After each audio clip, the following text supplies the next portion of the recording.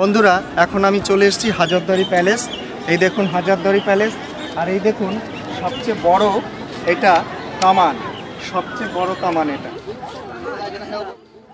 হাজারদুয়ারির অবস্থান ভারতের পশ্চিমবঙ্গ রাজ্যের মুর্শিদাবাদ জেলায় লালবাগ নামক অঞ্চলে। ব্রিটিশ যুগে বাংলার এক বৈশিষ্ট্যপূর্ণ ঐতিহাসিক নিদর্শন হল হাজারদুয়ারি। এই প্যালেসে আছে টোটাল এক হাজারটি দরজা, একশোটি আসল দরজা ও নশোটি অবিকল আসলের মতন নকল দরজা। তাই এর নাম হাজারদুয়ারি। হাজারদুয়ারির অপর প্রান্তে নিজামত ইমামবাড়া। এটাও বিশাল। নিজামত ইমামবাড়া ও হাজারদুয়ারির মাঝখানে বিশাল বড় পার্ক আর পার্কের মাঝেই আছে ক্লক টাওয়ার। নিজামত ইমামবাড়া শুধুমাত্র মহরমের দিন ও বিশেষ বিশেষ অনুষ্ঠানের দিনই খোলা থাকে মাত্র। পার্কে ঢুকতে কোনো পয়সা লাগে না, কিন্তু আপনি মিউজিয়ামে ঢুকতে গেলে আপনার পয়সা লাগবে পঁচিশ টাকা। তাই আমি গেট থেকেই পঁচিশ টাকার টিকিট কেটে টিকিট কাউন্টার থেকে আমি হাজারদুয়ারির প্যালেসের ভিতরে প্রবেশ করলাম। পার্কের মাঝেই আছে বিশাল বড় কামান। এই কামান দিয়েই ইংরেজদের সাথে যুদ্ধ হয়েছিল। পার্ক ও পার্কের আশেপাশে ও মিউজিয়াম ঘুরতে কম করে আপনার এক থেকে দু ঘণ্টা সময় তো লাগবেই। এই লাইন দিয়েই আমরা যাচ্ছি মিউজিয়ামের প্রবেশ পথে পঁচিশ টাকা মাত্র টিকিট, মিউজিয়ামের ভিতরে অনেক কিছু দেখার আছে। যেমন নবাবের ও রাজরাজাদের চিত্র, অস্ত্র, বৈঠকখানা, রূপোর বাসনপত্র, হাতির দাঁতের পালকি ইত্যাদি।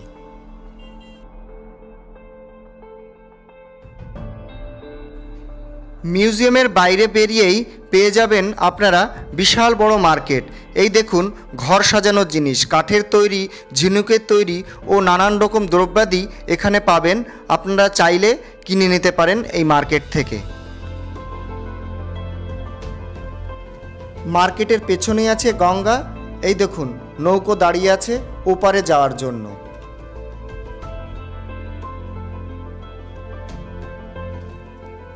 প্যালেসের পেছনেই আছে নিউ প্যালেস।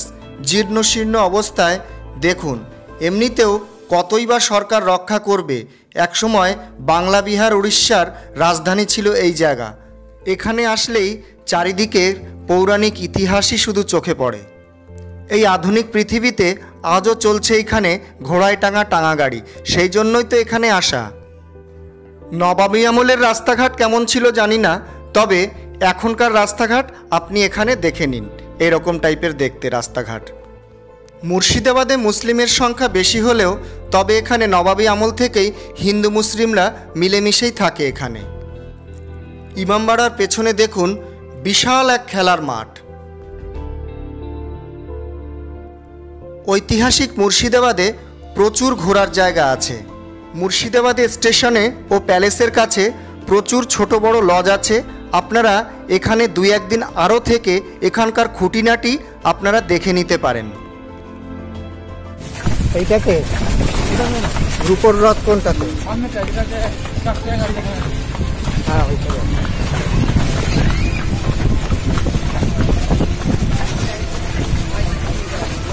একটা হাজার দরের মতনই দেখতে।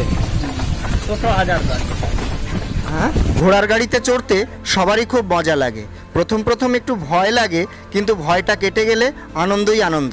আমার তো খুব মজা লাগছে। এলো এলো এলো জিসানাম হাম আ গে আজ ফির দিল লেকে। এলো জিসানাম হাম আ গে আজ ফির দিল লেকে। अब इतना ही गुस्सा करो नहीं जानी ये खोया खोया मौसम पवन दीवानी हो कहीं उड़ा ले हजारा तुझे दिल दारा तुझे हेलो जी सनम हम आ गए आज फिर दिल लेके এবার আমরা চলে আসলাম নসিপুর আখাড়া তিনশো বছরের পুরনো এখানে অনেক কিছু দেখার আছে কি নাম এই জায়গাটার? ভগবান দাসের আশ্রম বাড়ি। এখানেও পয়সা লাগে। সব জায়গায় এখন পয়সা দেখছি। চলো টিকিটটা কেটেই ভিতরে ঢুকি। দশ টাকা দিয়ে টিকিট কাটলাম। বেশিরভাগ রাজবাড়িগুলি ইউরোপীয় ধাঁচে তৈরি। আপনারা দেখতে পাচ্ছেন, রাজবাড়িগুলির সব ডিজাইন ইউরোপীয় ধাঁচে। আর আমরা এখানে দেখছি ভেতরে ষোলো টাকার খাট। এই দেখুন, সেই যুগের ষোলো টাকার খাট। সেই যুগে ইলেকট্রিকের ব্যবস্থা ছিল না, এইভাবে পাখার বাতাস করা হতো। দেখুন, নবাবী আমলের রান্নাঘর, দেখুন এখানে লোহা, তামা, পেতলের বাসনপত্র। মন্দিরের পাশেই আছে জগন্নাথ মন্দির, এই দেখুন জগন্নাথ, সুভদ্রা, বলরাম। আর এখানে বহু প্রাচীন ছোট ছোট মূর্তিগুলো দেখা যাচ্ছে। মূর্তির মডেলগুলো দেখুন। সে যুগে প্রতি বৎসরই ঝুলন যাত্রা খুব বড় আকারে পালন হতো আজও হয়, কিন্তু আগের মতন অতটা হয় না।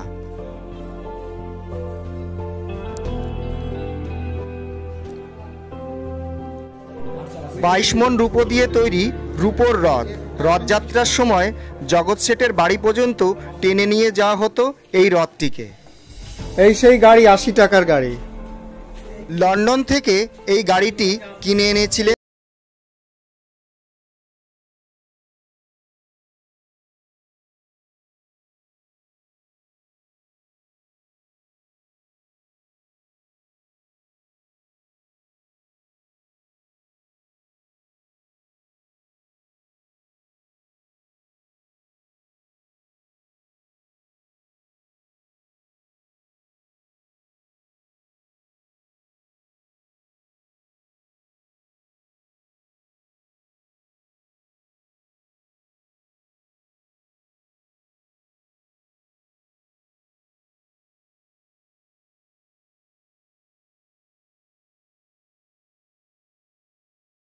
এখানে টিকিট ভাড়া মাত্র পাঁচ টাকা।